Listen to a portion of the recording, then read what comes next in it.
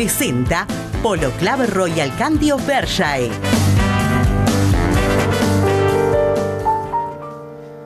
Contigo quisiera una noche linda, una noche loca y no pasajera.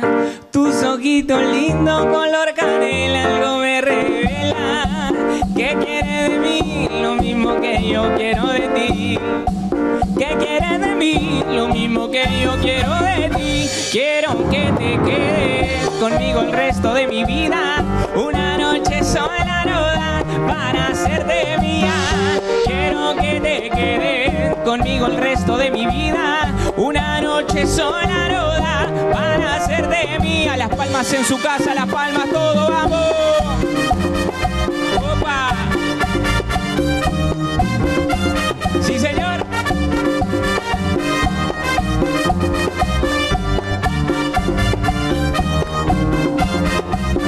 Contigo quisiera una noche linda, una noche loca y no pasajera.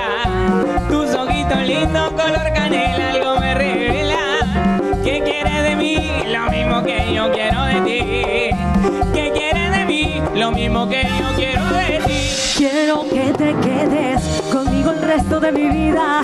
Una noche sola no da para hacerte mía. eh. Quiero que te quedes conmigo el resto de mi vida.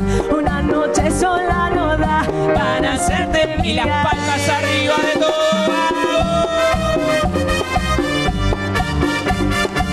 Sí, señor. La noche del pela. El aplauso para Ale y para toda la banda. ¡Aplausos! Nos mandás a aplaudir, ¿Qué pasó? nos mandás a aplaudir porque vos estás comiendo. Mientras todos bailamos, mientras dejamos todo en la pista. ¡Ah! No, ¡Qué Vela, locura, eh! tenías que aplaudir.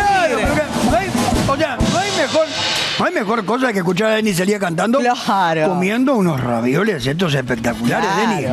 Esto es una cosa de loco, De loco. ¿eh? Los abuelos me largan la tarantela ahí donde uno Espectacular. menos los espera, Claro. ¿eh? Y calentito aparte. Y calentito. No, que estás al lado, qué estás- rico. estás al- eh, El no, Pela, tranquilo. el Pela aplaudía los ravioles, una Qué pasta estilo rico. artesanal con los mejores ingredientes. El Pela tiene la mejor pasta para compartir y disfrutar. Los abuelos, fresca o congelada, la mejor ¿Vos pasta. sabés que me siguen preguntando? Sí, Es cierto, los comen. ¿Qué no los va a comer? Son de verdad, Ya va a ver para sí. ustedes, chicos, ya va a ver. porque- Mm. Y Bueno, ¿qué va a hacer? Yo después le doy un tupper. Claro. Yo después te doy Ale, una, un tupper y lleva a tu vieja, de parte mía. Sí. O al Eduardo, pobre. Cuatro tenemos temporadas esperando. Y a vos le te doy también para Adriana, a vos te doy para aquella, y al Nico le damos solta por ahí. así. Mira el poroto como mira, pobrecito. ¿Por qué? Porque los abuelos, eh, muchas gracias a la gente de los abuelos por, por compartir con nosotros cada fin de semana, la verdad, en serio. Muy agradecido. Muy ricos. Muy agradecido. Mm. Domingo de la mañana a la mañana, fútbol, dale cerro, Sí. esa manga de. Eh, sábado de la mañana me cuesta mucho más que los domingos, mira lo que te digo. Es sábado de la mañana. Chao, chao, perdón, chao. Porque está entre medio del, del viernes vengo a laburar, duermo un par de horitas y me voy a, a correr un rato ahí atrás de la ¿Quién pelota. juega? ¿Juega Rafa Cotelo, por ejemplo? Ay, ay, El ay. Rafa jugaba, se jugó Jugaba. la Se rodilla, lesionó. se operó y, y quedó ahí. Vamos a ver si Juega mi amigo Manzana ahí, ¿no? Manzanita Andrés. Salazar, enorme productor, ¿no? Tremendamente. Y, y lo cómodo que está el Manzanita ahora. Sí, eh. ahora, ahora está trabajando, Eh, está trabajando a full, ¿no? está Sin bien. Manzanita. este, mucho fútbol, pero vos siempre te gustó, o sea, vos el fútbol fue lo tuyo siempre, de Cerro Mar para adelante. A pesar de que esa cosa, lo has contado, pero esa cosa de que ser hincha de cerro, como Sí. sos, y haber jugado en las inferiores de Rampla, ¿no? Sí, sí, eh, en mi caso eh, siempre lo digo, yo no, no, no soy muy, eh, muy en contra de Rampla, o sea, lo- no lo- ni siquiera es más, no, lo veo como clásico de barrio, pero yo sé que Rampla no es del cerro, Rampla nació en la aduana. Este, entonces como que sí, es como que está. Y no, no, no tengo esa rivalidad de. Prefiero, prefiero enojarme mucho más con Nacional y Peñarol, tener más rivalidad con los grandes vos que con Rampla. que un día- A mí personalmente no, me pasa. pero un día hablando con Gustav, este, me decía, yo no, yo lo único, los cuadros chicos no me importan mucho a mí, ¿no? Pero yo quiero que pierdan siempre Nacional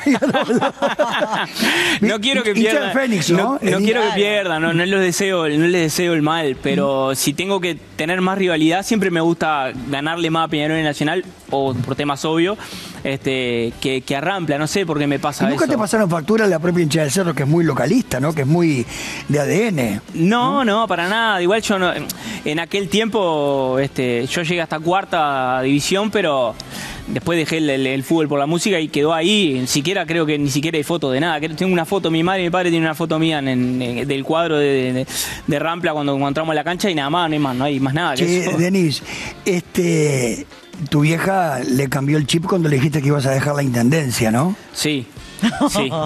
Para mi madre. Ah, estabas, en, estabas en el barrido vos, ¿no? Estaba, no, no, no, estaba en El- el áreas verdes. pasta, el áreas verdes. Áreas verdes. Donde cortabas el Este, pasto. Cortábamos el pasto y si no nos tocaba cortar con la máquina, tocaba barrer y meter dentro de la bolsa y dejarlo en la esquina ahí para que levante el camión después.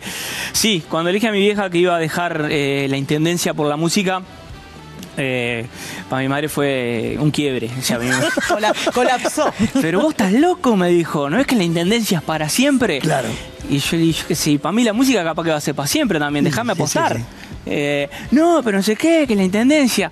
Este, aparte recuerdo que cuando me llaman por teléfono, que había quedado sorteado, eh, había salido sorteado entre tanta gente este, que se había notado para, para, para ingresar a la intendencia, recuerdo que la llamaron, no sé, muy temprano y fue muy temprano a mi cuarto, siete y media de la mañana, ocho menos cuarto, a despertarme para decirme que me habían llamado de la intendencia. Yo la miré de dormido así le digo, ¿sabes? Hasta ahora me venís a decir eso.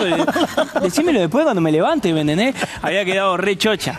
Y bueno, estaba, yo eh, preferí en aquel momento eh, optar por la música, porque un tema de que yo me levantaba a 6 de la mañana. eh, agarraba la moto de mi viejo, me acuerdo, me iba al comunal, marcaba, a las 7 en punto salíamos a una plaza, con frío, con calor, con lo que sea, y yo lo que hacía era ponerme auriculares, esperar que terminara de cortar, iba escuchando música en ese momento que yo quería sacar o quería arreglar como para, para grabarla con la orquesta y, y no me importaba más nada que eso. Y cuando llegaba, terminaba el- el- la hora de laburo, me iba a mi casa y seguía haciendo lo mismo. Digo, esto me está ocupando mucho tiempo en mi vida, porque aparte de, de llegar, comer y, a- y acostarme a dormir la siesta, después me levantaba a las 6 de la tarde y a las 9 yo ya estaba durmiendo de vuelta. No te- no- como que no hacía otra cosa que eso. Este, y bueno, hasta que un día le dije a mi vida, le digo, mira, ¿Esa era bien. la época de los príncipes ya? No, la intendencia a mí me llega en el momento de que yo arranco como solista, Como solista. ese es el problema. Ya había pasado la época de los príncipes. Sí, los Príncipes, Caribe, la KGB, Sí. la revancha. Y me anoto en la intendencia y me largo como solista. Cuando exploto a la semana como solista, me llaman de la intendencia. Entonces tuve tres años haciendo las dos cosas juntas: trabajar y cantar como solista. claro, claro. Y era, para mí era, era terrible terminar un domingo a las 5 de la mañana en el viejo y querido mariachi y tener que ir de ahí ya a laburar sin dormir. Y todos te dicen, no, pero la intendencia no es nada. Pero nosotros estábamos a la, a la intemperie barriendo en la vereda, en las veredas, veredas barriendo, que no es, no es malo. Lo quiero decir que yo de- de- sin dormir me iba a hacer eso al rayo del sol o lo que fuere y vos, no, no Eh, aguanté. eh, En no. realidad este es, también forma parte de del ADN o de la costumbre de muchos artistas uruguayos que también eh, hay- muchas veces hay que hacer las dos cosas, ¿no? Porque vos tenés una carrera exitosa, este, eh, los chicos lo saben, pero digo, como que podés vivir de la música. Muchos artistas Sí. tienen que hacerlo, ¿no? Sí. Sin duda, ¿no? Sí. Mucho cantante, de repente también este, se da a lo largo de la, a lo largo de, de la carrera, que, se, que puedas dejar yo algo seguro. Gracias a Dios yo aposté. En ese momento a mí, yo me había explotado la música como artista solista en el 2007 eh, y yo también entro a laburar en ese momento y fue una- dos calles paralelas al mismo tiempo. Fueron tres años, dije, oh, si me sigue yendo bien hace tres años y, y yo quiero apostar por algo, no puedo seguir haciendo las dos cosas. Y aposté, aposté a que me fuera bien y, este, y hasta el día de hoy son ya son 17 años de solista.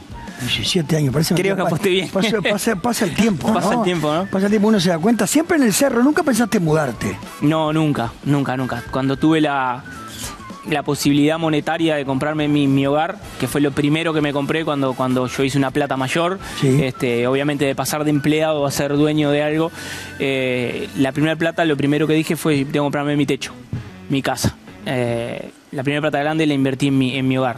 Este, En el cerro. Y en el cerro. Exacto. Tenía posibilidad de comprarme otro lugar, pero lo- salí a buscar casa- casas en el cerro hasta que encontré una, aparte cerca de la casa de mi viejo, eh, casi en el mismo barrio, así que todo ahí.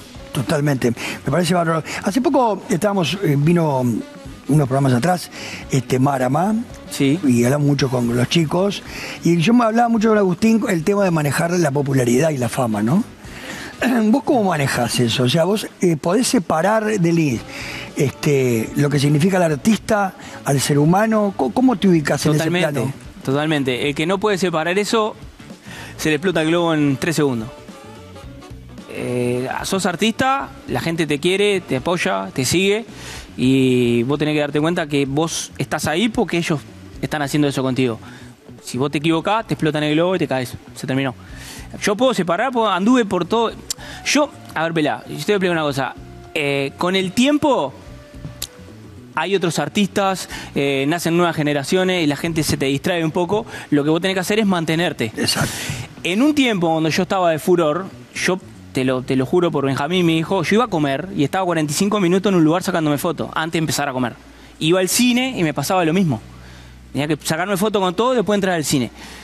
Eh, y ahí es donde vos tenés que entender de que vos, gracias a eso, vos estás donde estás y haces las cosas que haces gracias a que la gente te, está sacando una foto contigo o quiere este, tenerte un segundo al lado tuyo para preguntarte lo que sea. Gracias a esa gente vos estás donde estás.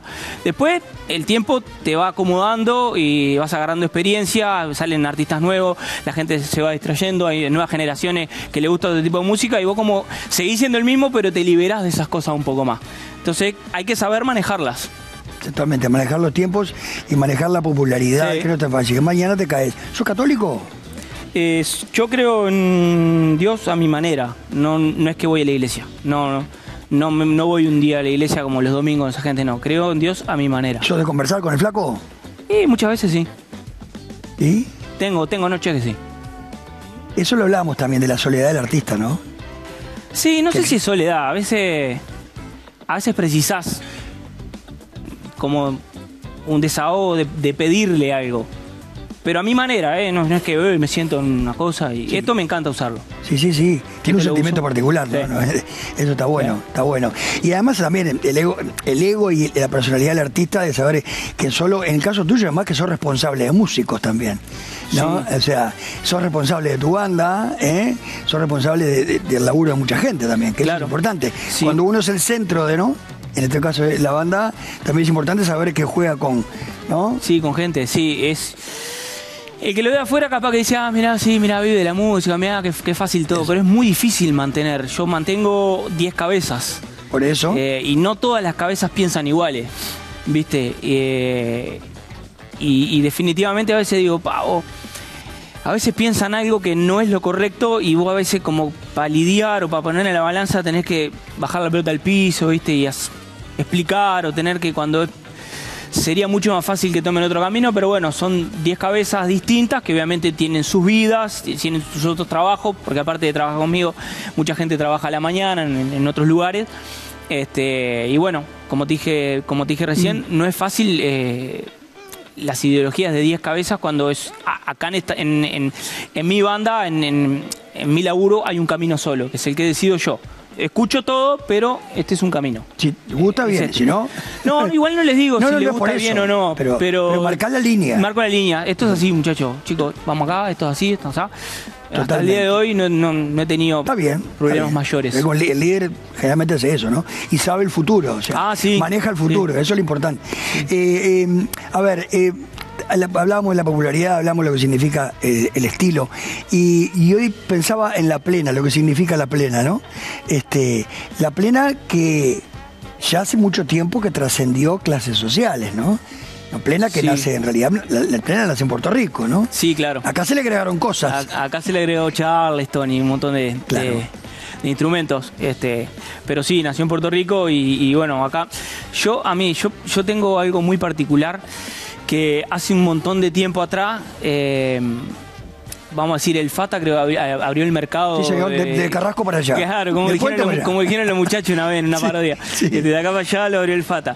El tema, claro, después se hizo popular, la gente le empezó a gustar. Después en el 2007 aparecí yo con una canción que, que- que es, es- yo para mí es un, es un hit hoy en día, que es Horas Vacías. ¿Horas Vacías? Eh, que yo dije plena en ese momento. Y a partir de eso, el ritmo se empezó a llamar, o, o lo que nosotros hacíamos se empezó a llamar plena. Y en realidad es música tropical Totalmente. siempre fue música tropical, porque ya en el Cubano América, Borinquen, eh, Maracaibo, ya tocaban la misma música que tocamos nosotros, ritmo plena.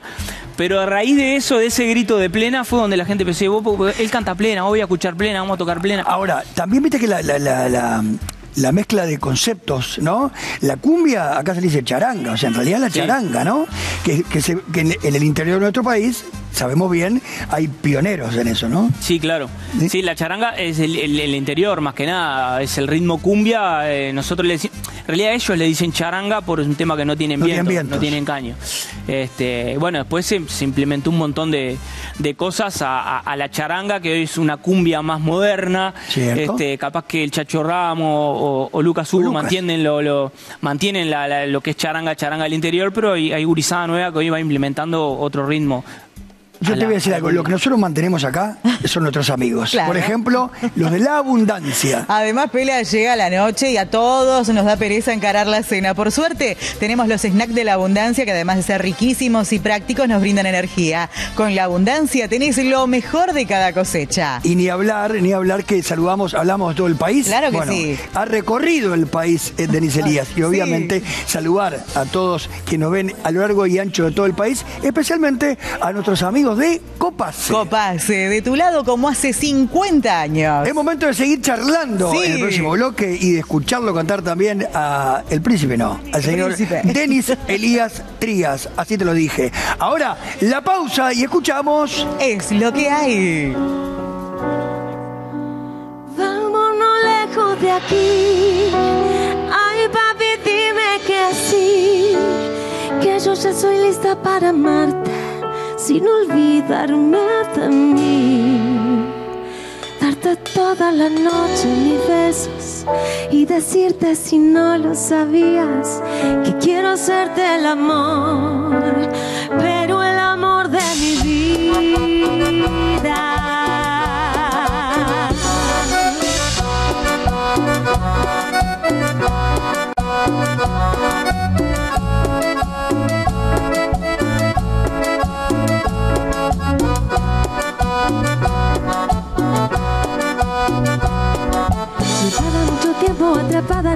Nube gris y de pronto llegas con más luces que París. Tú eres el sol de mis días que me abriga en esas noches frías. Tú sabes que yo no sé mentir. Tengo ganas de hacerte el amor, pero el amor, el amor de mi vida. Vámonos lejos de aquí. Ay, papi, dime que sí, que yo soy lista para amarte